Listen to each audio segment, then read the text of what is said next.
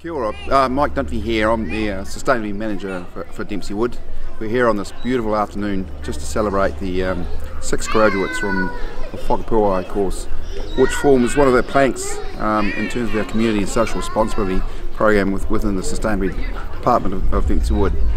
And it's, it's uh, absolutely heartening to see um, development through this course of six amazing people who've got fantastic leadership skills, which are paying dividends for the company as a whole, and helping their, their whānau and, and communities as, as a general whole.